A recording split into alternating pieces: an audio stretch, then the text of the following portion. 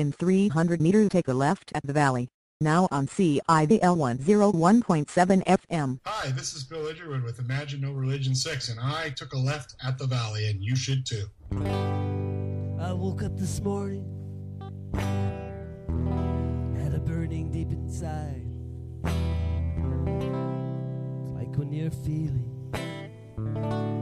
it's all a big lie. I feel the pain.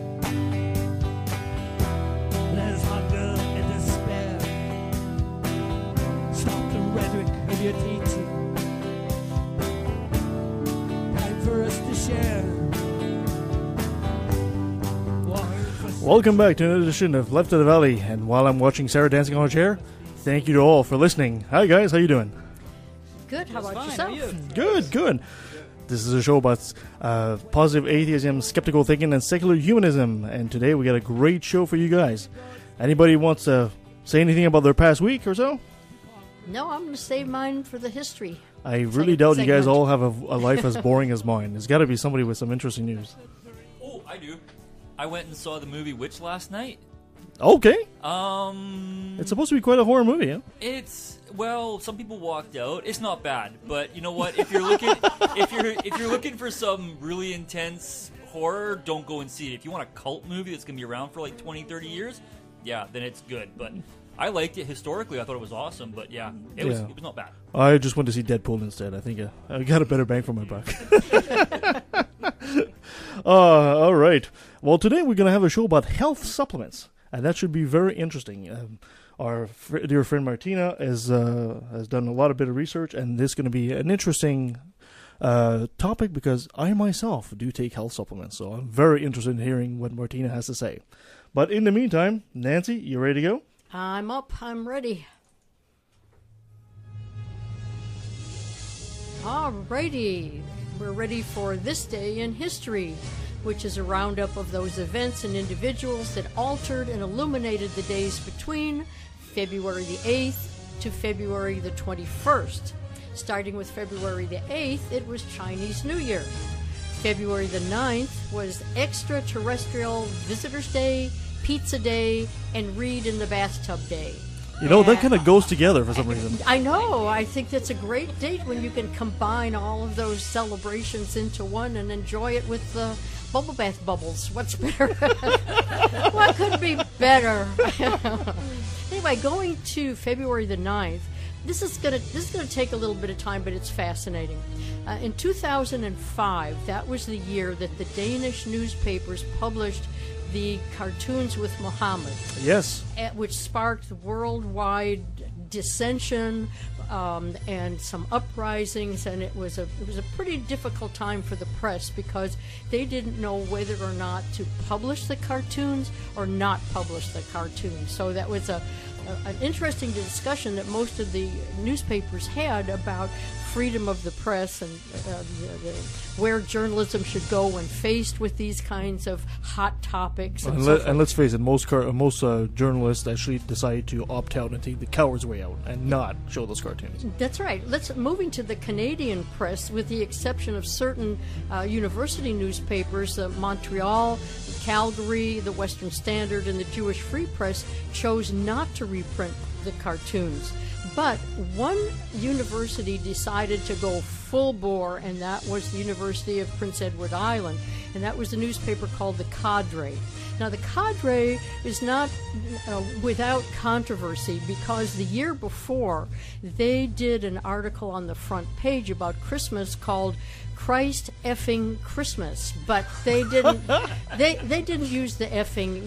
Everybody can can fill that in. So they they were used to controversy, and so when this came up, they decided what the heck they're going to go full bore, and they published all of the cartoons in the paper.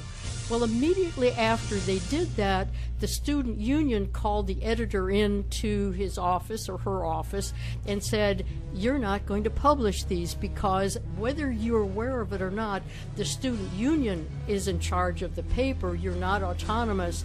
And so they demanded that the cadre return 2,000 copies they had already printed. So there was a little bit of dissension with the paper, but the cadre in the end caved and they collected back the 2,000 uh, papers. They were also threatened to be removed from campus unless they did. So they had a practical consideration of do we do we fight this? Do we have a lawsuit? Do we return them? What do we do? So uh, they, they decided in the end to return the 2,000 copies. Um, they uh, reestablished themselves as the newspaper on campus until 2014 when they gave up publica- uh, print publication altogether and went totally online. But that brought up um, a, a lot of controversy as to whether or not they had the right to do it since they were owned by the student union. Was it free press that the student union was suppressing?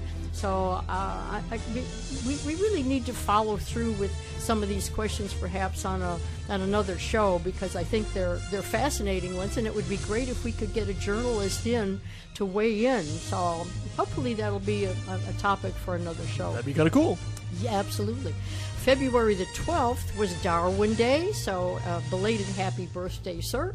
And you would be proud to know, wherever you are, that many of us are dedicated to ensure the fact that evolution is still alive and well in science classes all over North America. Hooray for Darwin.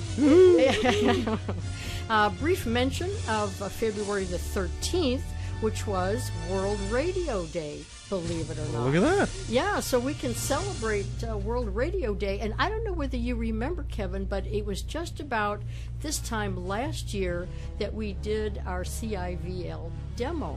Yes. Yeah, so we are part of the celebration of, of uh, World Radio Day. And we are here recording in their studios, which is you know, fantastic. And it is. Much better equipment than my stuff.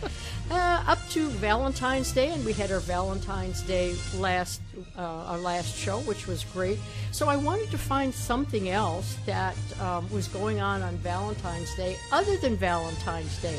So I did find that the week of Valentine's Day is a celebration that started at Yale University in the States, and that's Sex Week. so that's, yeah, Yeah, I that. know. Regardless of what you're thinking, wipe that out for a minute. That- I know. Save it. Save it till later.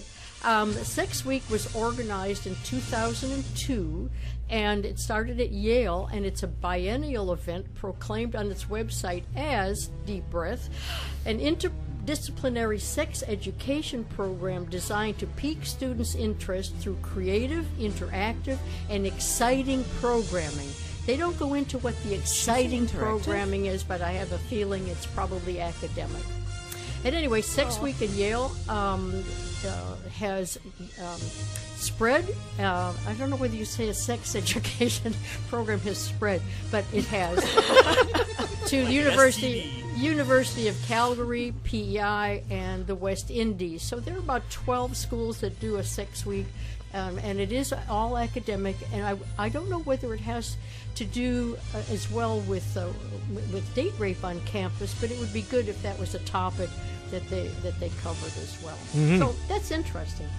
Um, in 1987, on uh, February the 14th, it was the start of the Raging Grannies. Anybody know about the Raging Yes. Grannies? Yes. You all know about the Raging Grannies? There's Oh, actually a group in uh, Maple Ridge. there, there is a group in, in Maple Ridge. Well, they started. eh, They're great. They're absolutely great. And there's activist organizations all over the place. But they started in Victoria um, back in 1987, uh, and it was over the winter of 1986-87. And they originally called themselves NERT or NERT for Nuclear Emergency Response Team. And, and the members believed that the presence of U.S. Navy nuclear power ships in Victoria Harbor posed potential health and environmental risks to the city. So the way they rage is by by writing songs that are politically charged, they used um, melodies that everybody already knows so that everybody can sing along.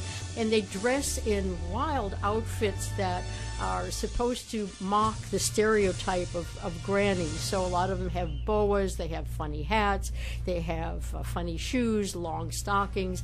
But the fun, the, the, the fun starts in satire uh, the minute they start they start to sing. So if any of you ever heard any of the Raging Yeah, I couldn't name it off the top of my head. That's sure. yeah, well, one of the one of the chapters is in in Florida, and uh, last year in the Florida Senate, one of the Florida senators was on the floor of the Senate, and he said that his wife should incorporate her uterus to stop the Republicans from abortion legislation.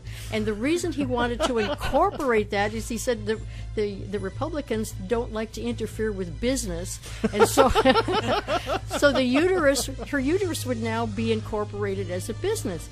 Well, for some reason uh, that I can't comprehend, the Republicans just didn't have a sense of humor. And so, about the whole thing. Uh, hard, hard to believe.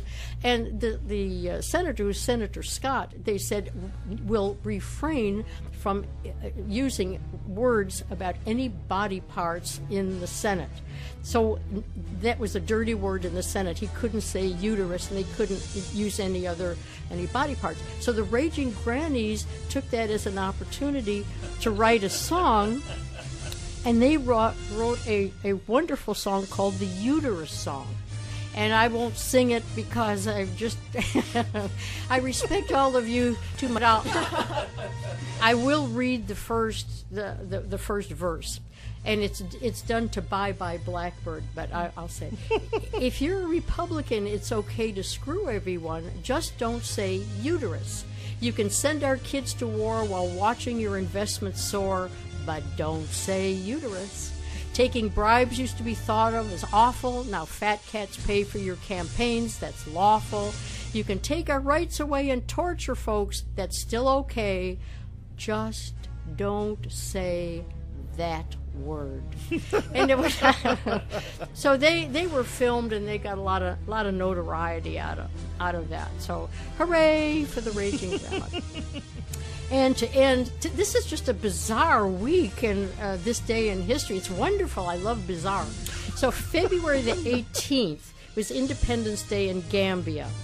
Um, and there, uh, in Mexico, there was this wonderful man, and I'm going to have to take a deep breath to say his name. It was Pedro Jose Domingo de la Cal- Calazda Manuel Maria Lascurain Paredes. That's a mouthful. That's a mouthful. Um, he was a Mexican politician who served as the 34th president of Mexico for less than one hour on February the 19th, 1913, and that was the shortest presidency in the history of the world. And no, he wasn't shot. This is a wonderful story, and no, no one lost their lives in the in the uh, in the in the event. Did he get a pension? Yeah.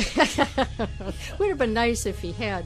Here's the story. On the 19th of February, General Victoriano Huerta overthrew the president and ousted the vice president and attorney general, all who had been in power. So, under the Mexican Constitution, after the attorney general, the foreign minister and then the interior minister stood next in line to the presidency. So, Lascurain was the foreign minister.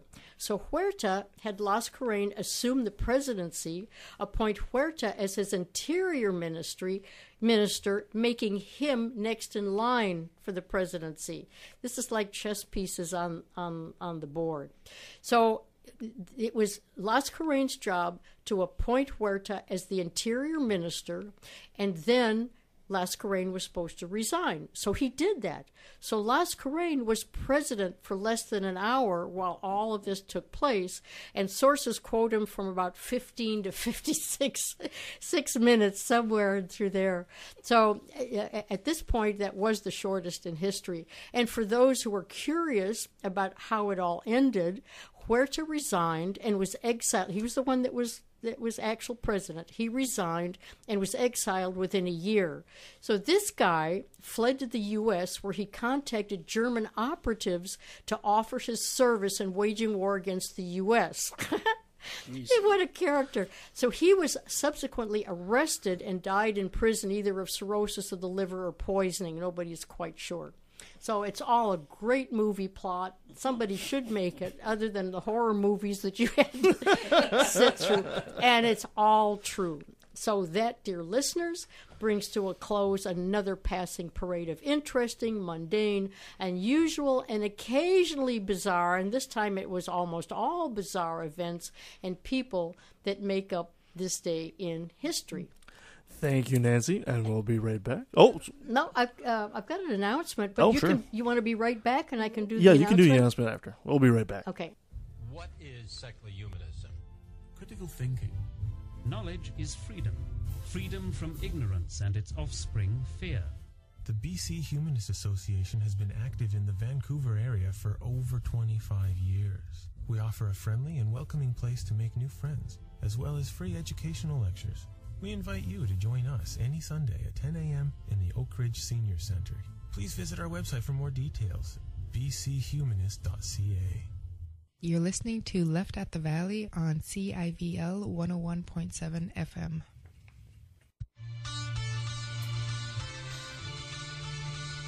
The main source of hatred in the world is religion and organized religion. I just love how this music is coming out. You know, you get some artists are actually starting to speak out against religion stuff like that.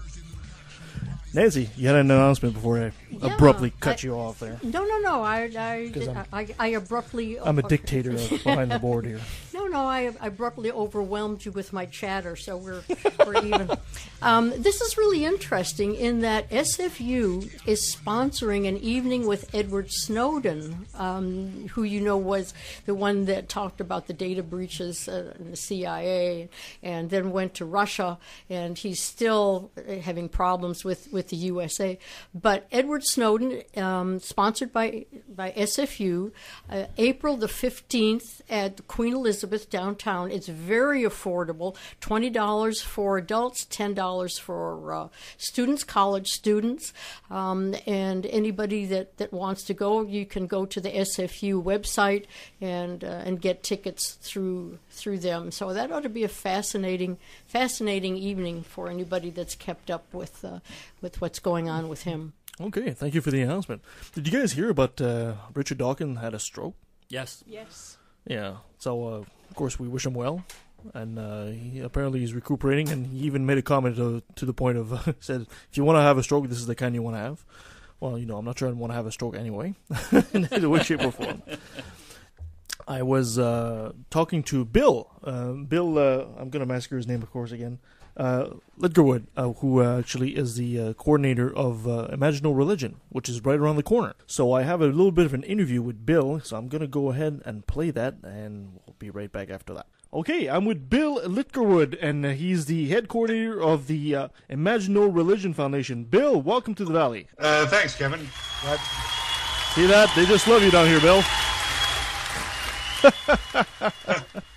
That's great. That's great to hear. Bill, you you were uh, heading uh, the uh, mega event Imagine No Religion Six, happening around uh, the end of May this year. Is that not true? Yes, it's actually the long weekend in May. Um, last year we moved it because of uh, uh, the availability of Richard Dawkins. This year we're back to normal, which is the long weekend in May. And yes, it's our sixth uh, sixth go at it. You know, I, I've I've been to two of them so far, and I've I've been I've been having a blast of those. And the one thing that comes out constantly from all the guests, and you've had some fabulous guests. Uh, and I think Aron Ra said it best. Uh, of all the uh, convention he's been to, this is one of the best by far. It's well organized. People are super friendly, and you know what? Kudos to you for doing that. Well, thank you, Kevin. It, it's um, that's something we've prided ourselves on is uh, the fact that we haven't had um, um, a lot of hassles with this event. It's we did this because um, it was a labor of love right from the start, and we and we did this because we wanted to give people a sense of the feeling that we had after the first conference that we went to. Mm-hmm. This was in uh, in Burbank in uh, 2009, and um, you know we just left there feeling so energized and so um, I don't know what the word is, but that's that's the thing we've tried to duplicate, and I think we've been fairly successful successful at doing that. It's um, it's more like a retreat. It's almost like a retreat. It's it's not really a you know a, a convention anymore. It's a retreat. It's where you can come and spend the weekend with people of like mind and walk away supercharged and and just feeling great about yourself and how you feel and the fact that there's lots of other people out there that feel the same way that you do. Yeah, that's a, that's a very apt description. It's a you're amongst friends at that convention, and uh, you know, hats off to you because I'm sure it's it's not easy to organize all that. Well, it's it's um, like I said, it's always been a it's it's always been a labor of love. So it's not that it's you know we've gotten ourselves a reputation now with our speak with the speakers, for example. And once you know you get a reputation with all the people that are sort of on the speaking circuit, um, that doesn't hurt. So Yeah, exactly. Yeah, so, so what do you got in store for us this year? who have we got? Yeah. Oh, geez, you're going to ask me tough questions. well, we've got a great lineup. Um, I think it's not quite as spectacular as last year, but I think it's pretty darn close. Let me just um, get up on here so I can see what it is because I always forget somebody and I don't want to forget anyone. um, okay, well, our keynote speaker is AC Grayling. Now, we've been trying to get uh, Anthony Grayling for, well, since we started, actually. Since INR2, we've been trying to get him, and we've had a couple of uh, false alarms with him. He said yes, and then he hasn't been able to make it. So, luckily and thankfully, this year he has been able to make it. So, we're really excited about having AC Grayling as our keynote speaker. He's uh, extremely well known, I think, in the movement. Um, he's he's the master of the new College of the Humanity of the Humanities in Oxford, um, a professor of philosophy at Birkbeck College in London, and uh, he's got over thirty books on philosophy and other subjects. So, I think if anyone, um, and apparently he's an awesome speaker, so you know, and it's going to be worth it just to see him. I think. Mm-hmm. Um, we've also got Julia Sweeney. Now, Julia Sweeney is best known for her four seasons on Saturday Night Live, and she's also best known in our movement for um, Letting Go of God, which is a thing she did uh, several years ago, and her conversion basically to atheism thanks to a visit from some Mormon from some Mormons, which was quite entertaining and extremely funny. And um, we finally got Julia to agree to come as well, which is awesome. Uh, Dr. Michael Shermer um, is one of our speakers. He's the founding publisher of Skeptic Magazine, of course. Ooh, good one. Um, yeah, I'm really looking forward to to hearing from him. Um, I think he's a really good, really good catch as well. And it's it's one of those things where, you know, we've had um, a lot of speakers, and the word just gets out, and eventually you email these people and you say, "Would you like to come and speak at INR?" And they're just yes uh, we want to come and speak at INR because we've heard nothing but good things about it. And that's really a, not only a testament to us, I think, it's a testament to the people that come. It's, it's a, like I said, it's a family event. It's a, it's a retreat. It's not, you know, there's not a lot of uh, bullshit that goes on. Let me put it that way. It's, it's a bunch of people that you can relate to that you're going to have a good time with and you're going to be you're going to feel so good when you're done. Now, with all the the other um, speakers, we have Kelly Carlin. He's the daughter. She, not he, is the daughter of George Carlin. Mm. Um, so yeah, we managed to get a hold of Kelly, and I had a really interesting conversation with her. I think people are really going to be interested to hear from her about uh, just her life with George and her life in general. And I'm sure she's got stories. Hey, I'm sure she's got stories. Oh, I would think so. yes, indeed. Um, Joe Nickell, he's a senior research fellow of the Committee for Skeptical Inquiry. Now, he has, I don't know, I don't know, 600 books or something, not that many, but he's got a lot of books. He is, he's one of the, the major investigative columnists for Skeptical Inquirer magazine. Um, he was a former professional stage magician and a private investigator for a world famous agency, and, and he debunked the Shroud of Turin. Um, he's been involved in the uh, uh, the whole alien thing at, at Area 51. Um, this guy is going to be really interesting uh, to hear from for sure. Uh, Elizabeth Loftus. Elizabeth Loftus is a person that we saw when we went to one of our first conferences, I think TAM, the first TAM conference that we went to. Um, she holds positions in departments of psychology and social behavior. Uh, she's also a professor of law in California. She did a really amazing talk about the uh, basically about how how uh, what's the word how how how false memory syndrome how you can't really put much credence in eyewitness testimony Mm, yes. and she talked specifically about the case of this uh, this uh, daycare in the United States, uh, where the people were all um, charged with child abuse.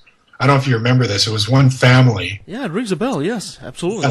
and she basically wrote a book on that. She went through that whole thing and um, talked about how just what the questions that the, the the kids were being asked by all the social workers and the cops um, led to their answers. I mean, it's a really she's really good, so she's going to be interesting. Okay. Uh, Brian Dalton, of course, Mr. Deity. we all know who he is. Yes.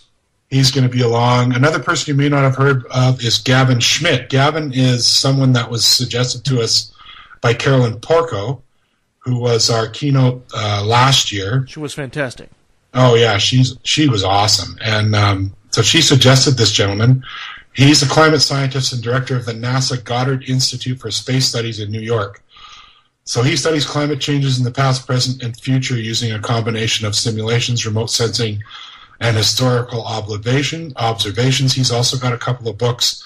This guy is going to put to rest any doubts you may have about climate change. Not that most of us do have any doubts about that, but um, this is a guy that's in the know about that, and and uh, so I'm really looking forward to hearing from him.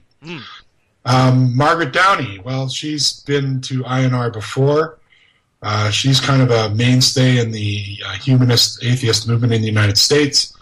Uh, born in Baton Rouge, Baton Rouge, Louisiana. Um, she's became concerned about persecution from an early age and has devoted her life to any any and all discrimination. She's founded the Free Thought Society and anti-discrimination anti-discrimination support network in the United States. Uh, she's always great. Uh, Canadians, well, we have Ali A. Rizvi. He's a Pakistani Canadian writer, physician, and musician who resides in Toronto. He grew up in Libya and is part of a progressive Muslim and was part of a progressive Muslim family before moving permanently to Canada in his 20s.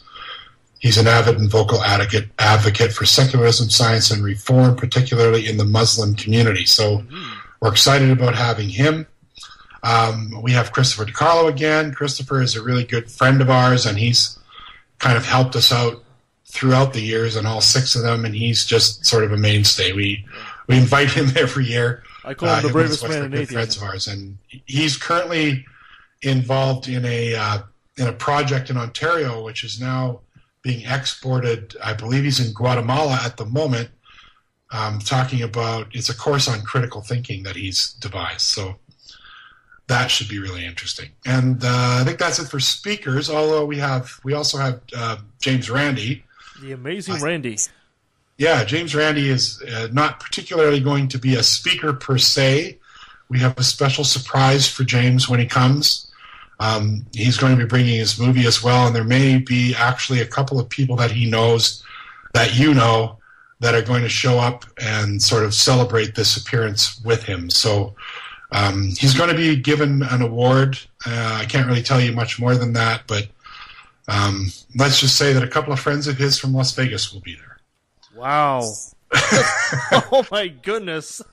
Yeah. That sounds like an all-star lineup you got uh, for us. It's pretty good. And then for entertainment, we have Stand Up for Mental Health, which is uh, a group you probably are aware of out of Vancouver. Um, they're stand up comedians that are all involved with uh, mental health issues, and they're going to be doing, they're going to be providing the comedy. so, Excellent. So, so, so remind us the dates. It's in May. yes, it's May 20th to 22nd, which is the long weekend in May. Mm-hmm. Um, it starts on the Friday night, goes Friday, Saturday, and Sunday. It'll probably end Sunday afternoon sometime. And the cost includes uh, breakfast, lunch, and dinner on Saturday, breakfast and lunch on Sunday, and all the uh, all the sessions. Beautiful. So we can. If somebody wants to buy tickets, there's still some tickets available, but they're going fast, and it's at inr.ca, right? I imagine no religion.ca. Yes, the tickets are about half sold out at this point. Last year we were sold out by March. Oh. Uh, so, but we had we had uh, Richard Dawkins. Yeah. Well, I think that had a lot to do with it. still, and, ti- um, tickets are going fast. yeah, so I don't think we'll be sold out by March, but um, it probably will sell out because we do limit it, and we limit it for the very simple reason that we want you, when you come, to be able to interact with the speakers and see them and talk to them and and make it a more intimate atmosphere. So that's what we strive for. That's what we've always been able to accomplish, and I think that's that's kind of our claim to fame. If you come to Imagine No Religion, you're probably going to have a really good chance of meeting all these people. Excellent. Thank you so much, Bill, and we'll see you at Imagine No Religion. Looking forward to seeing you again, sir. Okay, Kevin. Thank you, man. Take care. Have a good one. Okay. Good night. All right, and that was Bill. So we had a great time with that. Uh, great uh, guest list this year yet again. If you have not been to Imagine No Religion, I highly, highly recommend it. Even people that uh, go in at Imagine No Religion, uh, even the guests, I usually say like, and this is like from people like Aron Ra. They usually say uh, this is one of the best organized convention they've ever been to. So, uh, and it's right here in our backyard. So, might as well take advantage of it. My friend, I believe you have a report for us. I do. You're all set? Yeah, I'm ready.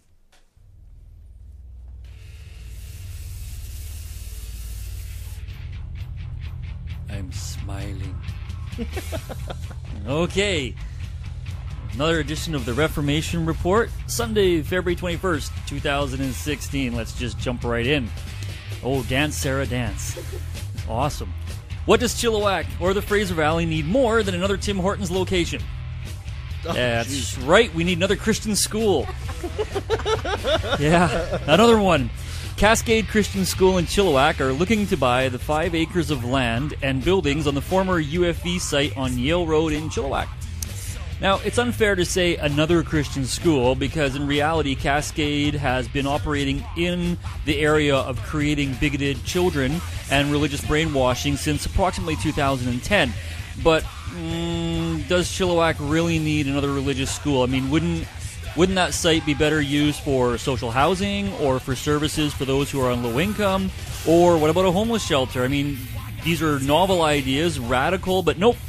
Nope, we would rather sell to an organization that is going to skip on taxes, sap money from the community, while producing bigoted children who will continue to protest a woman's right to make a choice about her own body and bully those within the LGBT community.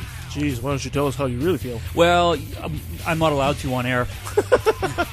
CRC restrictions. now here's a story I like, and it has a church involved. So this is I'm departing a little bit from my reformed ideals. There's a new way for the youth in Chilliwack to get down. Super Sweet Sounds is a monthly community dance party for youth aged 9 to 14. Presented in partnership with Mint Entertainment and Sticky's Candy downtown. And believe me, if you haven't visited Sticky's Candy, ooh, Sarah's looking excited. Sticky's Candy's so good. Anyway, um, hey, we got to charge it for a commercial here. this uh, brand new event will run one Friday per month until May 20th, kicking off uh, February 19th. So they just had their first one.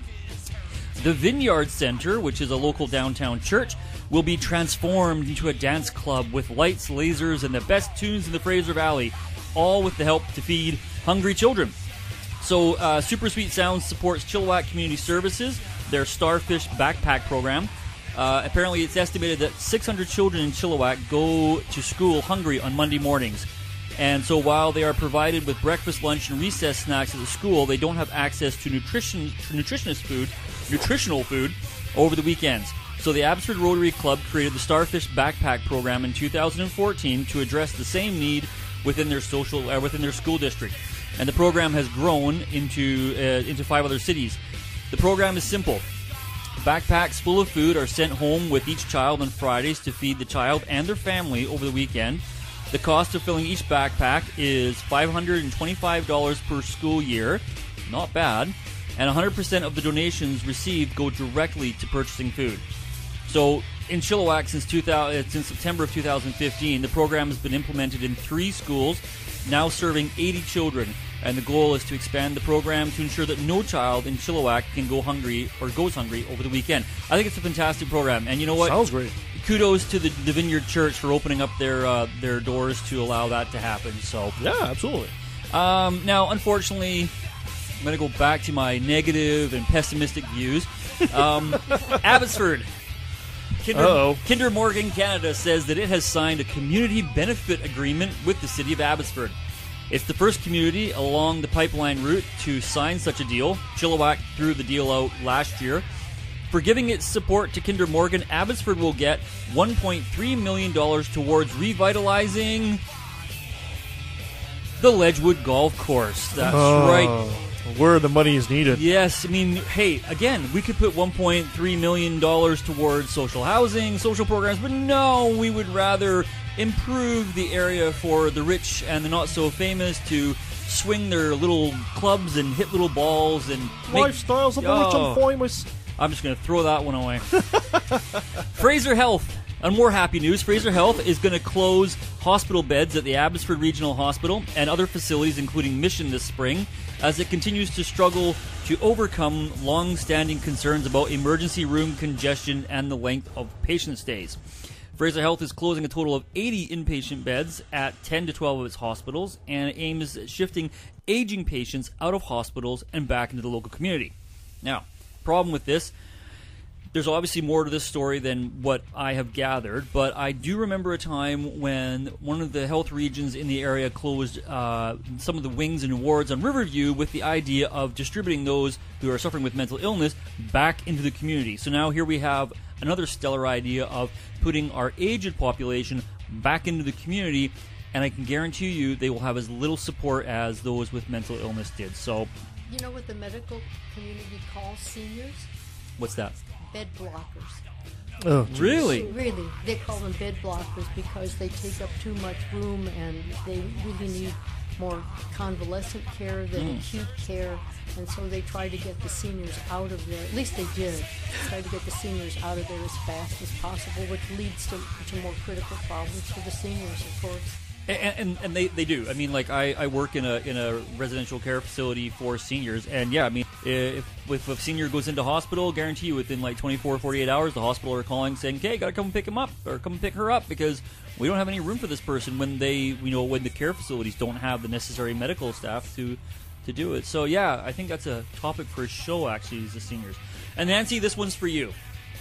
This is for you, Nancy. Did you know that under the Abbotsford bylaw, which has been in place since 1997, now I don't want. Can you give her a tissue? I don't want her crying. Stripping or exotic dancing is prohibited in any venue with a liquor license. Breaking it carries a minimum fine of thousand dollars. So Nancy, you can't go and have a drink and watch the Bono Boys mm, doing their thing. No, but, but, but wait a minute. But can I have a beer and strip at the same time? In the privacy of your own home, I'm sure that would be allowed. But I- if you I are a don't- li- that sounds like a loophole. Does Well, it say anything about it- the exotic dancer drinking at the time that she's stripping? Well, because or- I've been doing it for a while, and I and no one has bothered me. The comments so of I- I Nancy are not those of Left of the Valley, I'm- its associate and. Uh, Yeah. A sold out male strip show. Oh, now Sarah's crying. A sold out male strip show styled after the Hollywood blockbuster Magic Mike was canceled in the Fraser Valley, leaving downtown customers cursing the bylaws. Canadian Playboys, mm, a male entertainment company, was forced to axe a planned two, a planned April 23rd show at the Station Pub in Abbotsford. Such an exotic location that is. Um, over a city ban that bans exotic dancing in bars. Uh, the owner, Brad Alexander, said, We're sorry about this, but we really can't do anything about it when they have these laws in place. Even though they're outdated, we still have to follow them. The event was planned as part of a Magic Mike's Lady Night tour, and the organizer said there will be shows in Langley and Aldergrove. Uh, Mr. Alexander said that they're looking at finding a replacement venue for April 23rd, but not in Abbotsford, obviously, he said. But, but could I be a raging granny exotic dancer and fill in? Do you think? Um, well, Again, uh, you know what? the After- comments of Nancy are not necessarily those of Left the Valley, its crew and subsidiaries. I mean, I- Sarah- Sarah's I'm jumping in. up- We've I'm got up for a new career. We've got a fight to do. Uh, you and I are going to open a business together. Oh, this is what happens when the studio is packed full. Oh, we're going to make the bylaws committee so busy. exactly. So comments on Facebook. Thanks to Abbotsford for reminding us all how dull and boring this city really is. Another comment said maybe we should ban bathing suits because it shows too much skin and some Abbotsford uh, residents might be offended. I look good in a two piece. In North Bay, Ontario, in North Bay, Ontario, they don't allow males or females to show nipples. So we have to put tape or something over the nipples, according to Mr. Alexander, when these guys dance. In other areas where only the act of stripping is illegal, his group can sometimes get by dancing without really removing any clothes. Uh, it happens from time to time in different areas of the country, so it is what it is. And on that skimpy note, that is all for now for me, the Reformed. Stay critical, stay sane, stay put. Excellent. Thank you so much. Thank you so much for that, The Reformed. I don't care anymore. My identity is busted. All right. Well, I got a great little story for you guys. It is.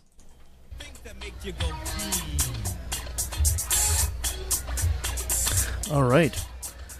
Now, did you know that apparently capitalism will end us by 2050? Capitalism has generated massive wealth for some, but its devastated planet has failed to improve human and well uh, well-being at scale. Species are going extinct at a rate of 1,000 times faster than that of natural rate over the previous 65 million years. And that's for the uh, Center for Health and the Global Environment at Harvard Medical School. Since 2000, 6 million hectares of primary forest have been lost each year. That's essentially 14,826,322 acres, or just less than the entire state of West Virginia. That was by the 2010 assessment by the Food and uh, Agricultural Organization of the UN.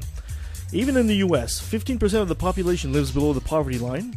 For children under 18, that number increases to 20%. The world's population is expected to reach 10 billion by 2050. Professor Christopher Wright and Daniel Nyberg published Climate Change, Capitalism, and Corporations uh, last fall, arguing that businesses are locked in a cycle of exploiting our world's resources in even more creative ways.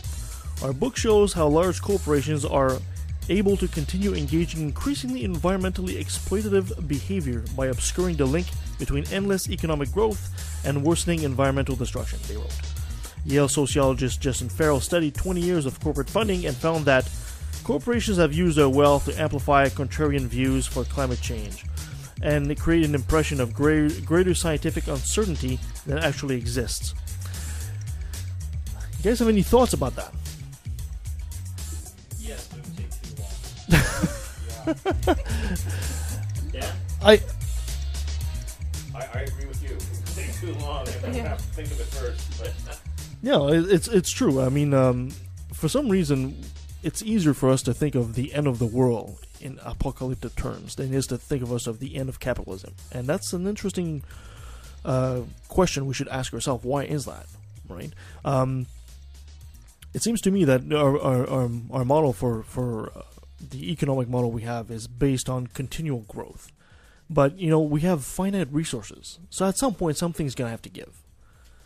So, any interesting comment on this? Yes, no? Just this is great radio, guys. Wonderful. Sorry. Six of us here and here, and we can't come up with one thought between the six of us. well, anyway, that's food for thought. Um, okay. Continuing on. Today, we're doing a show on health supplements. And our wonderful Martina has done a crap load of research. And she's to enlighten us. Mike is all yours, dear. Indeed, she does. Um, well, actually, I came here heavy handed and well equipped. Not so much with lots of research, but with a very, very heavy toolkit to, uh, well, enlighten everybody on this particular kind of subject. So, first of all, about me, why, why on earth would I bother to look into uh, health supplements? Well, first of all, um, I worked in that industry, not just because I needed the money, I was desperate and young and, you know, all that story, but. Um, That sounds like somebody who's had a stripper job. I was desperate and young and worked in the health industry. close. So no, but um, no, because I actually I, I drank the Kool Aid by the gallon. So if I I'm, I'm starting to point fingers, like, have you ever taken a health supplement in your life? So it's it's not really. I'm not judging. I'm not judging. Why are you looking at me while saying that? Although I, I do still take health supplements. So, so. So yeah, why? It's why gonna be is that? that's scary to rumble you and me. yeah, so we have to look into that. Why on earth are you doing that? So what I actually brought with me is um, my favorite tool that works for a lot of things that any skeptic is investigating at some point in time. It is a few pages out of uh, Carl Sagan's um, uh, The Demon Haunted World. It's chapter 12, The Fine Art of Baloney Detection. yes, the baloney detecting kit. It is awesome.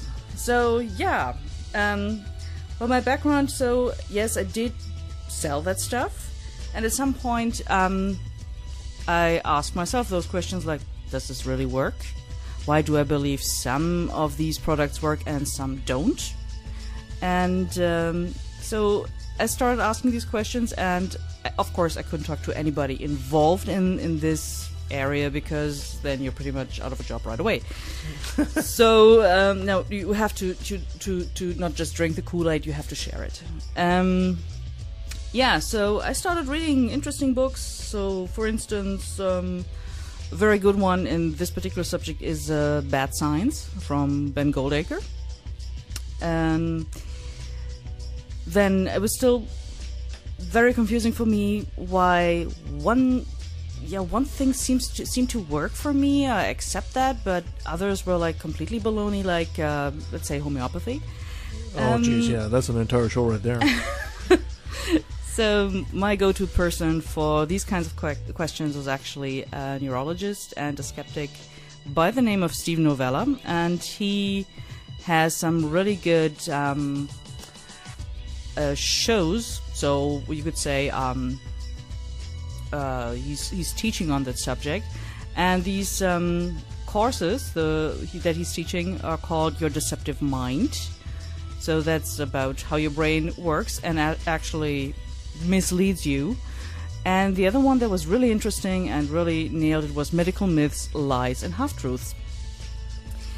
So, based on this and this wonderful um, baloney detection kit, and the fact that at least another person in this room has taken or is taking supplements. he says with a smirk.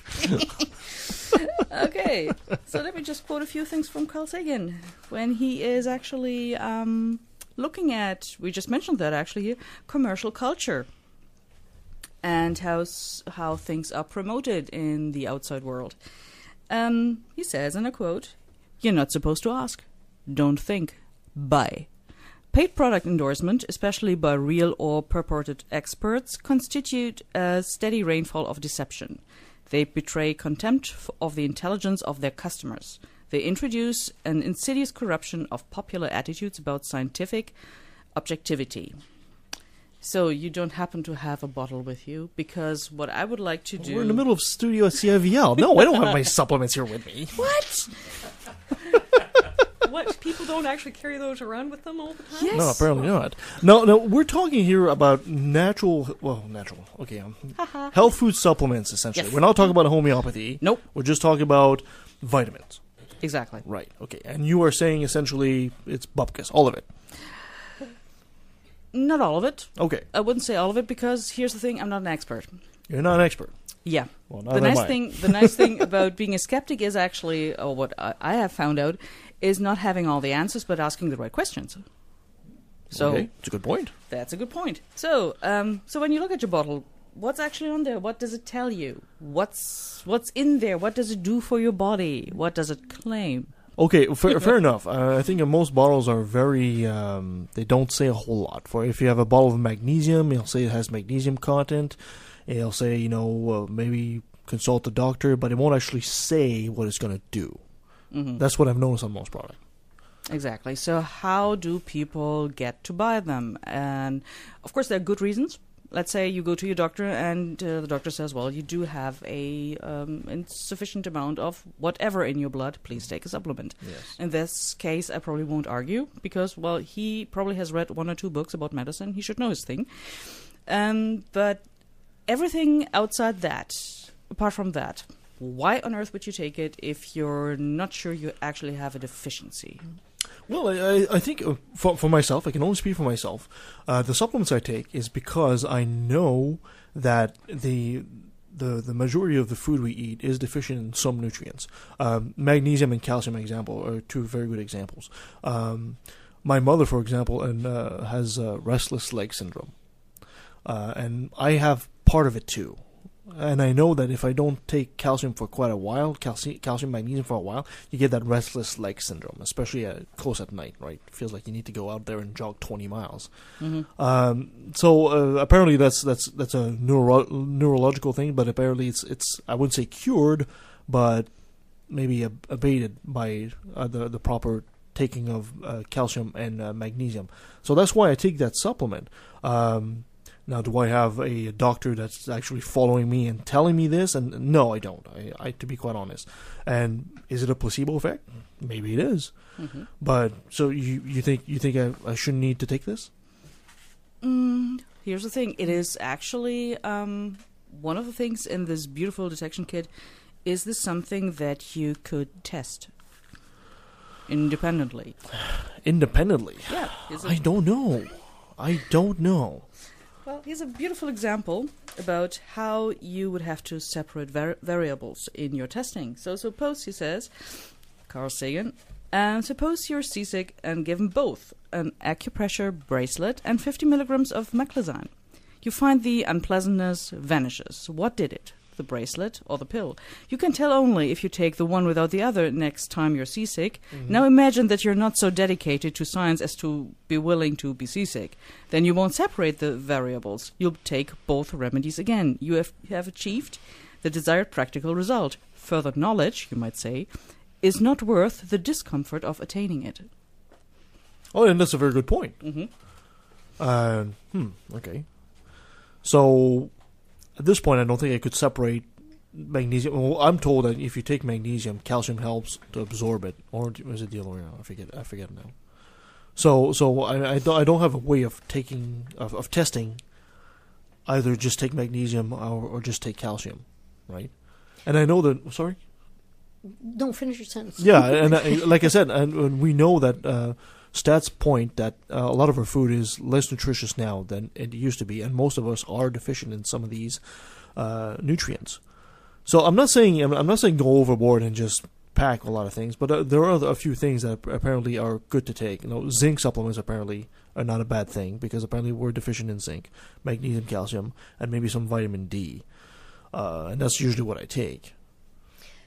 Have you found that if you don't take vitamin C, that your restless leg syndrome um, Vitamin is C? exasperated? Does it come back? Is it is it more prevalent? Um, well, I, I I have this little bottle of uh, calcium magnesium uh, thing in the fridge, and uh, I I kind of take a bit of a teaspoon of it every night or so. But if I don't take it like for two three days because I forget and because I'm just busy like everybody else, it seems to come back. If you ate two oranges rather than took the supplement, would there be a significant change? Well, that's already part of my diet. I already have plenty of vitamin C in, in, in oranges like that. So uh, So if you take the natural food, the oranges, and you don't take the supplement, Mhm. then the restless leg syndrome is still there. That's a good question. I Which means that maybe if you increase the number of orange, I'm just I'm just wondering whether or not Yeah. this is something that you could that people not you independently, but I'm just wondering whether if people increased the their intake of the natural food rather than took the supplement, whether or not that would be a, a positive or negative result. Yeah, but I mean, as, how many oranges can you eat in one day, right?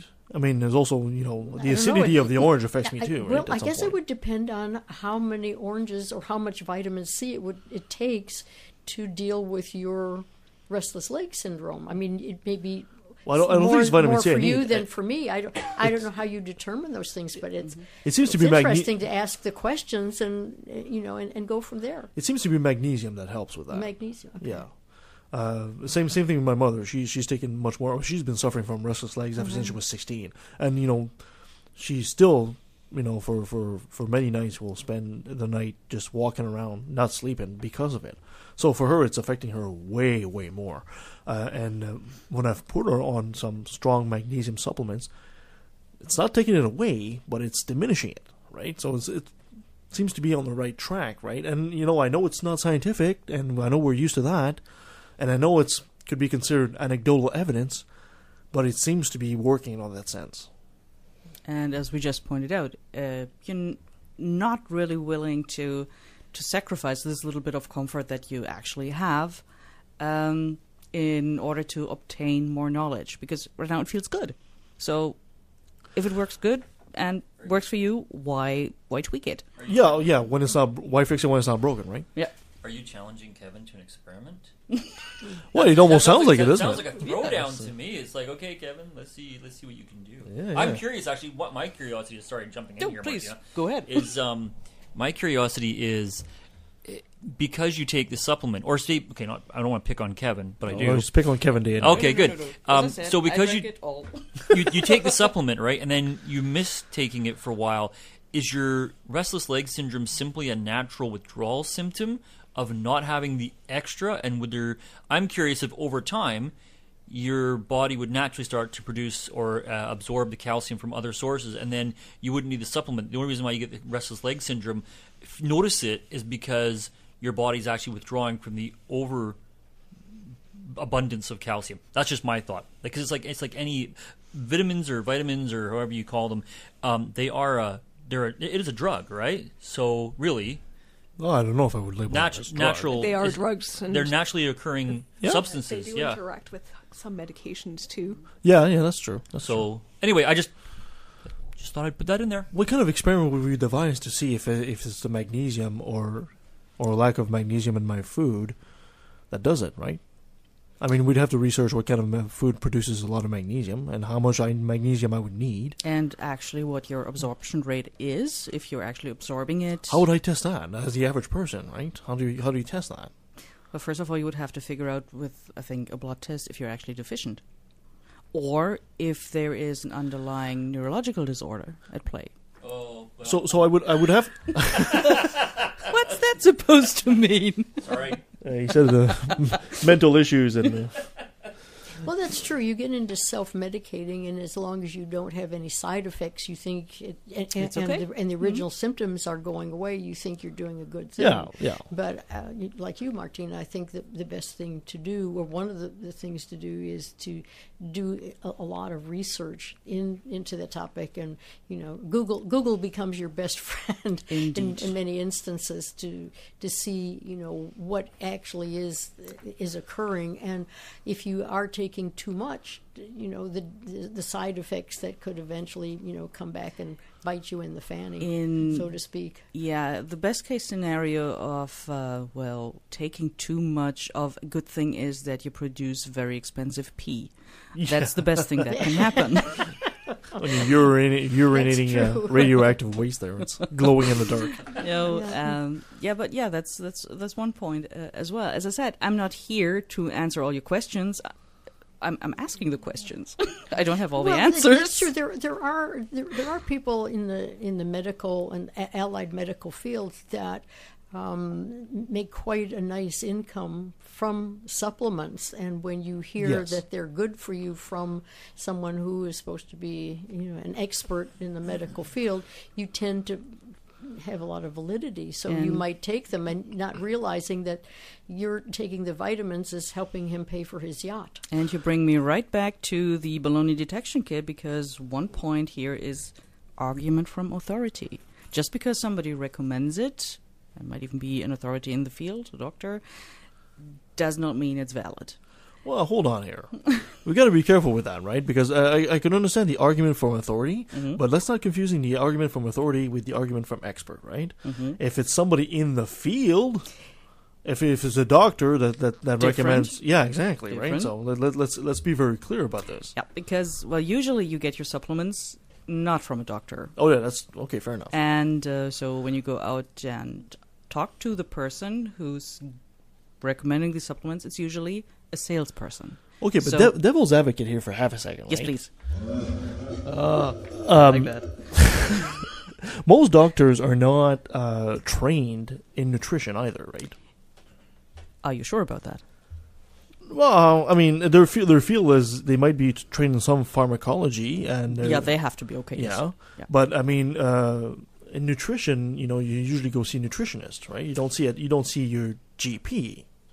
And in this case, I wouldn't even say you're not seeing your nutritionist because nutritionist is actually not a uh, the proper description, the proper term. Everybody can do a few nutrition classes and call themselves a nutritionist. You would go to a dietitian. Oh, my aunt Susie's rolling in her grave now. I, I wanted to say, um, I, I go to my doctor, and um, as part of that, I'm actually he is actually has a nutritionist, uh, dietitian, excuse me. Okay. Come in every six weeks, and I can't see that person. So apparently, there is a way to to um, get that expertise if, uh, if you want it. Yeah, but okay, okay. Let's uh, let's be- let's be honest here. And uh, the average Please. guy, like myself, right? I mean, Mhm. I ha- I have some symptoms. Okay, I'm not exactly sure what they are. Doing a bit of research, and you know, because symptoms can be kind of vague, right? I I come to the conclusion myself that I might be having some restless leg syndrome. My mother has a hard history of that, and she's been diagnosed. Now, I myself have not been diagnosed, but you know, I feel it'd be very hard for a doctor to diagnose me because it's very sporadic at best. Now, doing a bit of research with people that do sell supplements and people that have had like restless restless leg syndrome. Not, I did not go to a doctor. I'll, I'll, I'll admit to that, but they told me magnesium is what helps with this. Now, it's anecdotal, but the Mhm. magnesium seems, if unless it's a placebo effect, seems to be working. Mhm. And that I think uh, is the average experience of the average person. As much as you know we're skeptics and we want to you know point to factual information, I don't see how that scenario could have gone differently for the average person. You know, I, I don't see how I could have gone to a doctor and do a blood test if I'm deficient. I, go to a doctor and say I might be deficient in magnesium because of this, this, this. I, it's unlikely. You'll probably say, you know, go home. You're wasting our time, right? I think that whatever it is that you're doing, and Martina's right. I think skept, being a skeptic is is your best way to go at this point because there are some vitamins that um, will will um, can be eliminated from your body over a short period of mm-hmm. time. You take them, they do what they need to do, and they're gone. There are other vitamins and minerals that will stay in your system and over a long period of time may cause you some harm. As the average person, you don't know which is which. It's a matter of trusting a doctor that that really understands the topic and will um, not be using it as a as a financial um, supplement. Yeah. while while he's he's giving you the the food supplement. And you But this really is co- this understand is very over a long- complex. over a long period of time what the side effects and in many in I'm not going to say many that's an exaggeration. In some instances what you think is helping you in the short term is actually combining or, or doing things with your um, in, internal organs that are going to be damaging over a long period of time. So uh, rather than go to the drugstore and just buy a bottle I, I think as Martina is saying you use your your uh, baloney detector and do a lot of research so that you can feel comfortable and stay healthy. I mean, I think we can agree that some supplements. I mean, even myself, I kind of raise an eyebrow, right? For like um, Colloidal Silver, for example. You know, they they say if you dilute some very minute amount of silver in the water and ingest that, apparently that's good for you. I I, I find that extremely hard to believe, and I, I think I believe there is actually also a study that shows that if you do too much of that, yeah, it would actually change the color of your skin. to Yeah, a- it turns you into a smurf. yeah, it's a, a kind of a blue grayish thing. So you, you got to be careful with that stuff. And th- there is a huge market for it. There is a huge market. It is. Um, no, just uh, yeah. As I tried to say at the beginning, I'm not condemning everything and saying everything is bogus because it's not working. Okay. Some things might be working. Some things might just be the placebo effect. Um, but what my worry is, and what actually got me out of that business, was the question that everybody and Nancy went that way. She went down that road. everybody should ask themselves, uh, what's the harm? And even in in a, I would say rather, I would say mild case. so just taking, let's say, one or two supplements, um, the worst thing is again very expensive peas. So basically, you're burning your money for something that you might be able to obtain from food. For instance, just off the bat, I would say magnesium. Try almonds. okay, uh, uh, okay, and that's fair. That's totally fair. I mean, if if you're if you're deficient in a uh, if you could get it from a food source, you should always go for that fair that that, Mhm. that first, right? Uh, calcium, the people have a tendency to go for milk, but apparently sesame seeds are, have way more calcium than milk to begin with. Uh, so yeah, there is some knowledge you can certainly acquire. Um, Going back to your dietitian, yes. yeah. Also, like, let's be honest. There's also a matter of convenience too, right? Yeah, exactly. Uh, in our busy day, and you know, I'm on the road on a very regular basis. You know, uh, I can't stop to have a nice warm lunch. You know, unfortunately, it's it, so I usually have a sandwich or something like that, right? I might even stop at a Burger King. Or, heaven forbid. I know, I know, I know, I know. I'm ashamed. so, in your research, did you find something that you know for sure is like good or not good? Um, let me put it this way. Um, Because we've got some great info and we've given some great information, but we're still I feel, still feel like we're vague here, right? Because it's a complex subject. Um, yeah, well, what's I, I'd like to go there. What's the harm? So as I said, uh, the the least harm is your loss of money. Hey, you're that's a lot of harm. Yeah, it's, it's but not that bad because actually may, maybe you just cut your losses and say, okay, maybe I can tweak my lifestyle a little bit around and go shopping once a while for fresh veggies and just do it that way. Mhm. Possible, it's doable. It's not as convenient as just popping a pill, I know, um, but uh, there are other things, as Sagan says it at the end of this chapter. Gullibility kills, um, because I came across people in my line of work who were actually suffering from really, really vicious diseases. So they were cancer stricken, they had really, really something you need to see a specialist for. They come into your store and they tell you, well, I have this and this stage, whatever cancer, what can I, what can, can you do for me? What can you suggest? And so you have your boss breathing down your neck that you actually have to sell something to this person. So, and then of course, because this person is desperate and wants something, the doctor is at the wit's end. They just had the, I don't know, umptiest attempt of, of therapy and it didn't work. So, of course, they want something. They need something. So, they have heard about this wonderful superfood juice and it's 60 bucks a bottle and will this help me? Yeah. Okay. I, I totally get that.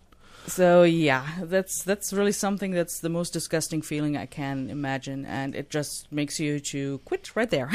Yeah. I uh, one of our previous show we had um, remember when we had Tanya come in and she had stomach cancer, and uh, we actually went over some statistics. I, I know like, like chemotherapy is not a popular subject for a lot of Mm. people, and you know I hate chemotherapy myself too because you know it's essentially chemotherapy is will poison you and hope the cancer dies before you do. Hopefully, yes. Yeah, but it's it's still the best weapon we have against a cancer. So when I see people saying, "Oh, well, I've got cancer, but I'm not going to do the chemotherapy, but I'm going to do alkaline Some al- water or something like alternative. that," yeah, that that that bothers me a lot. And it's uh, you know you should really try stuff that works first before going on a whim. Uh, and we have several people doing that kind of stuff. Uh, remember Bob Marley? He died something similar in a similar way. Uh, he had, I believe, was cancer in his toes. Yeah. Yep. Yeah, and he he- he decided to not go with conventional uh, what works, and he, he paid with his life. Uh, we actually have Val Kilmer that's doing something similar right now, except he's he's a Christian scientist, so he's praying. Steve Jobs, Steve Jobs, exactly. who had actually a kind of pancreatic cancer that would have been treatable, Mm-hmm. and uh, as far as I know, he said towards the end of his life that he regretted his decision, but unfortunately, then by then it was too late. Um, it doesn't even have to be this dramatic. Um, it's just when you have a deficiency, you think, or some ailment, some disease, and you take a supplement hoping that it might help you, you're actually foregoing the treatment. You are really sh- you're just throwing out your money hoping for for an effect and you're missing out going to a doctor, to a specialist. You're missing out on getting a referral if you're not happy with your doctor, because I get that not every doctor is a great doctor and will be able to help you, but you have other options than just giving out hundreds and hundreds of dollars for stuff that might or might not work or even harm you.